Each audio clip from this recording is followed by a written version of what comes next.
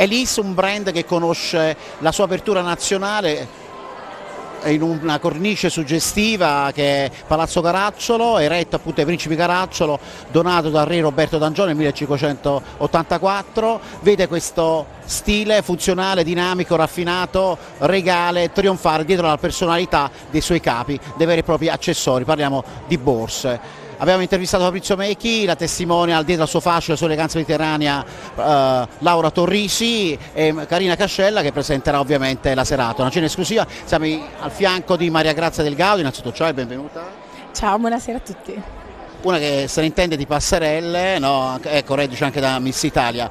Quanto è importante far veicolare anche brand giovani, freschi, dietro ovviamente una genialità e una creatività delle sue maestranze sartoriali, ben vengono anche il brand sempre Made in Italy, no?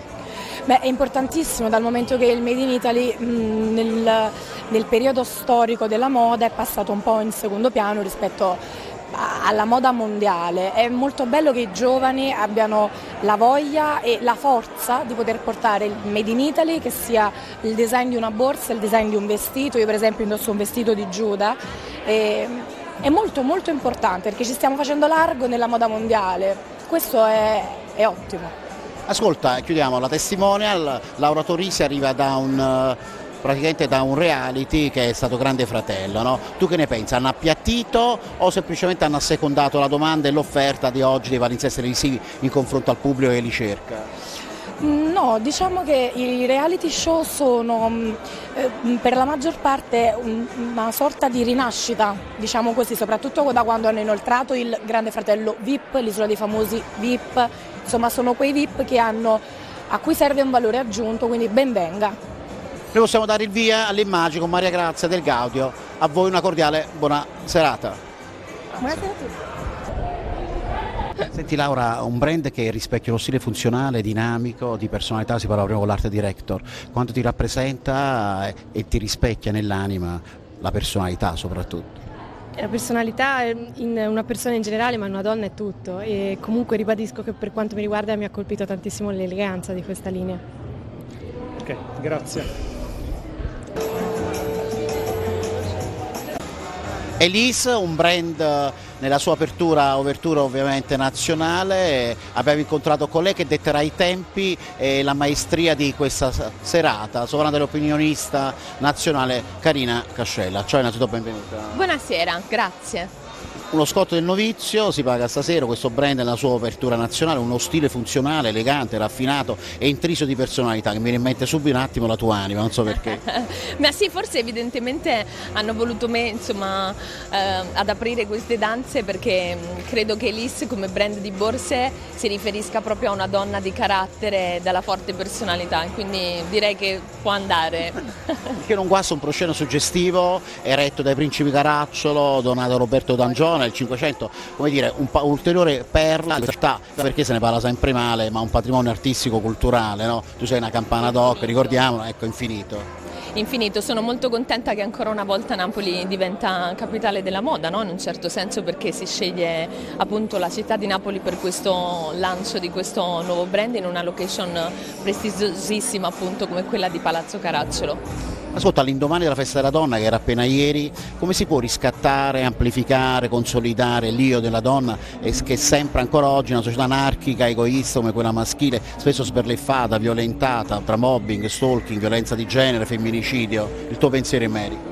Eh, guarda, io sono una che si esprime poco rispetto a queste situazioni perché specialmente ultimamente si sentono delle notizie di cronaca veramente aberranti, nel senso che la donna è il motore che muove questo mondo, ma non è un discorso femminista il mio, è un discorso, è un dato oggettivo di fatto, no? la donna è brava nel trasformare tante cose, mette al mondo dei figli, porta avanti tante tante cose tutte insieme, ci vuole più rispetto, ci vuole più comprensione. A proposito di figli, ho visto che hai deciso di dare il volto al tuo compagno. Ah sì, è vero ho dato un volto a colui che rende la mia vita meravigliosa. Sei tosta, che ci hai pensato in tutti questi anni, per anche con tua figlia a Ginevra. Sì, io ho una bambina bellissima di quasi 8 anni, ad aprile, poi vabbè, bellissima per me è la bambina più bella del mondo ovviamente, come tutte le mamme, è il centro della mia vita e adesso insomma a coronare e a chiudere il cerchio è arrivato il mio fidanzato. E poi so che lei vuole l'esclusiva.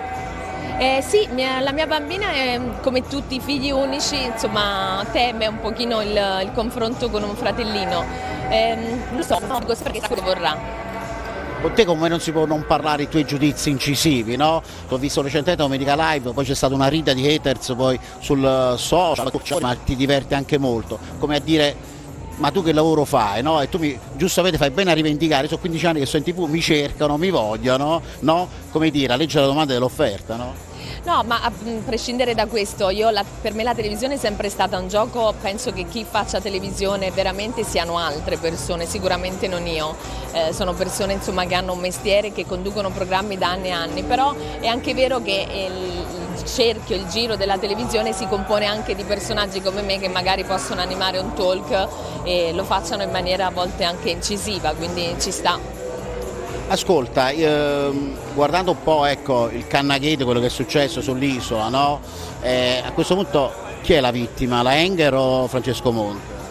Io ho sempre espresso la mia opinione, per me la vittima tra virgolette ehm, è stato Monte, ma forse è tutto il pubblico che non meritava di, di vedere una serie di puntate incentrate su questo discorso qui. Il reality è una trasmissione di intrattenimento e doveva ehm, avere come base tutt'altro che il Canna Gate, però Eva ha deciso di rendere pubblica questa cosa, adesso vera o non vera, secondo me ha sbagliato i tempi e i modi. Poi c'è una mia cara amica che a te è molto simpatica, Rosa Perrotta. Ma guarda, io non ho nulla contro Rosa. Eh, ho rilasciato una specie di intervista con Manuela Gentilin, ultime dall'isola, che non era assolutamente insomma, un discriminare Rosa, mi è stato chiesto semplicemente all'interno del litigio che lei aveva avuto con eh, la Mancini che cosa ne pensavo. E io lì ho, ho detto che in quella circostanza l'ho trovata saccente, però non ho nulla contro Rosa in realtà i tuoi fan che non so perché ti vogliono riportare dove è iniziata un po' la tua parabola, il dating show ovviamente la dei Filippi, no? ma oggi devo dire che sei una donna consapevole, sensibile, sempre pronta a rispettare le esigenze della famiglia, no? quindi con un occhio un po' diverso, una pressione un po' diversa, come dire ben venga quel passato, ma oggi c'è una consapevolezza diversa guardando un po' il tuo futuro. No? Assolutamente, ma tutte le esperienze aiutano a crescere, io tornassi indietro rifarei tutto quello che ho fatto dalla alla Z eh, tornerei anche a uomini e donne, nel senso nel momento in cui ti arriva una chiamata eh, da Maria si accetta sempre volentieri. Questo eh, non vuol dire che il giorno dopo io sia in trasmissione, le persone quando tu parli di questa cosa automaticamente ti rivedono lì, però lo capisco. Giusto per far capire a loro che alcuni dettagli della tua vita non la conoscono, che tu hai rinunciato all'isola per amore di Ginevra. Sì, ho rinunciato all'isola quest'anno perché mm, diciamo che anche l'anno scorso era arrivata una telefonatina perché io non riesco a stare lontano da mia figlia. Penso che insomma, se uno mette al mondo dei figli ed è un pensiero puramente personale mio, ehm, rispetto alle scelte di altre mamme che hanno fatto l'isola ma io non la condivido assolutamente. Io con mia figlia ci voglio stare ancora troppo piccola e quando sarà più grande io avrò un'età per cui sicuramente non vado più all'isola dei famosi, quindi va bene così. Senti, chiudiamo, impazza sempre questa chirurgia estetica, no? Tu sei sempre stata contraria solo nel caso che per motivi di salute, no? No, no, no, io non sono contraria, anche perché comunque io mi sono rivolta alla chirurgia per quanto riguarda una mastoplastica, nel senso che ho rifatto il seno. Credo che però non bisogna mai esagerare, eh, non mi piacciono le labbra canotto, non mi piacciono gli zigomi da gatto, non mi piace la trasformazione che va a ridicolizzare quella che è la nostra figura. Migliorarci sì, rendersi ridicole no. Il futuro? Il futuro io immagino me felice con la mia bambina, il mio compagno, i cani la serenità. E in questa serenità, non so perché mi è venuto in mente Max, ma la trasmissione, i protagonisti, no? come li saluteresti? I, I protagonisti di? E la trasmissione, i protagonisti. Ho detto Max, non so perché questo nome mi, viene in me, mi ricorda qualcosa o qualcuna. Anche a me ricorda qualcuno. Eh, vicino a te. Eh? Esattamente, ma sei uno che veramente sa tutto, è pazzesco. Eh, ma li saluterei augurando insomma tante cose belle e um, un futuro meraviglioso a tutti come io te lo auguro a te nel tuo caso. Eh. Complimenti e grazie anche per la morbidezza emotiva che stai donando a questa intervista. Grazie. Grazie, grazie mille a voi davvero. Grazie. Elise, un brand che stasera allo scotto del novizio, nella sua anteprima nazionale, non poteva scegliere una cornice più degna, siamo in Siamo in compagnia del suo art director Fabrizio Michi. Ciao innanzitutto e benvenuto. Benvenuti a voi. Allora, Elise innanzitutto mi fa sentire il respiro delle antiche botteghe italiane dove fonde sapienza e classe, dietro uno stile funzionale, dinamico, elegante, intriso di personalità. E da qui forse anche quella scelta di uno dei patrimoni culturali più ambiti di questa città che è Napoli, no? Eh beh sì, ha centrato in pieno tutta la nostra filosofia. Eh, noi abbiamo questa tradizione che parte un pochettino da lontano, però l'abbiamo voluta arricchire con l'innovazione e con l'eleganza che non guastano mai, tipici italiani e infatti il nostro brand che è italiano, fatto in Italia, con materiali di altissima qualità, ha, ha voluto tirar fuori tutto quello che era il bello dell'Italia per delle donne che vogliono essere eleganti con un pizzico di innovazione. Strategia di marketing, relazioni unite per una comunicazione internazionale affinché questo brand possa viversi e respirare i migliori salotti modaioli dell'intera penisola, no? Beh certo, per adesso iniziamo con l'intera penisola, ma dopodiché andiamo anche fuori. Deve essere un brand che tocca tutti i salotti eh, migliori dell'Italia, quei salotti che sanno apprezzare il bello di una linea innovativa che rispetta la tradizione. E questa tradizione la ringraziamo per portare sempre nuova cultura e che soprattutto le eccellenze italiane trionfino sempre di, di, più, soprattutto in un clima di austerity come quella istituzionale, tanto per fare un esempio. No? Beh, direi di sì, però eh, forse in maniera un po' così sbagliata, perché eh, troppo poi l'austerity esagerata eh, noi dobbiamo riscoprire il bello, il bello che noi abbiamo in Italia, il gusto delle nostre cose e noi ripartiamo proprio dalle nostre borse. Le borse Elise sono belle, ci piacciono e noi le vogliamo portare ovunque. Complimenti e buona serata. Allora. Grazie anche a voi, spero che vi piaccia. Elise, un brand che vede la sua nascita questa sera nella sua anteprima nazionale e chi meglio di lei non poteva non celebrarla in un parterre gremito di artisti. Lei è la modella di punta, principe del novero nel panorama italiano, sopra della Sise Elise. Ciao, innanzitutto benvenuta. Ciao, buonasera. Ecco. Oh, ben vengono questi brand nuovi, frizzanti, funzionali, dinamici, eleganti, intrisi anche di personalità ho visto, sì. un po' rispecchia la tua, la tua anima a questo punto. Sì, è vero, ha dei colori pazzeschi, è molto bello, molto elegante, giovanile, mi piace molto.